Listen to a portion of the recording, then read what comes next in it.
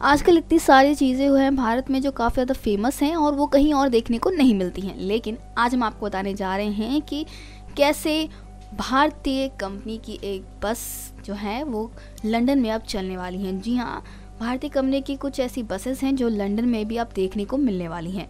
आपको बता दें कि हिंदुजा समूह के फ्लेक्सिव अशोक लीलैंड ने ये बात कही है कि इसकी सहायक कंपनी ऑप्टिया पीएलसी को ट्रांसपोर्ट फॉर लंदन से इलेक्ट्रिक डबल टेकर बसों की इकतीस के लिए ऑर्डर प्राप्त हुए हैं। और अशोक लेलैंड ने एक बयान में ये भी कहा है कि इकतीस metro metro decker EV double decker बसों को मेट्रिलियन द्वारा खरीदा जा सकता है और अगले गर्मियों तक लंदन के बड़े जोड़े में जाएगा।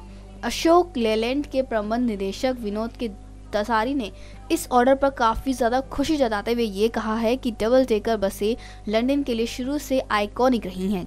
जानकारी के लिए आपको बता दें कि उन्होंने ये भी कहा है कि हमारे लिए, हमारे देश दोनों के लिए काफ़ी ज़्यादा फ़क्र की बात है और हमारे सहायक कंपनी ऑप्टियर पीएलसी को लंदन की तरफ़ से ये इम्पोर्टेंट ऑर्डर प्राप्त हुआ है और तसारी ने यह भी कहा है कि ऑप्टियर में निवेश करना एक रणनीतिक कदम था, जिससे आने वाले समय में काफ़ी ज़्यादा लाभ मिल सकता है। न केवल आर्थिक, बल्कि तकनीकी रूप से भी हमें इस साझेदारी से लाभ मिलने वाला है। उन्होंने कहा है कि हमारे लिए ई मोबिलिटी व्यवहार से तेज़ी से फैल रहा है और इस ऑप्टियर वैश्विक स्तर पर हमारी नेतृत्व स्थिति को मज़बूत बनाने में काफ़ी ज़्यादा इम्पोर्टेंट भूमिका ये निभाएगा।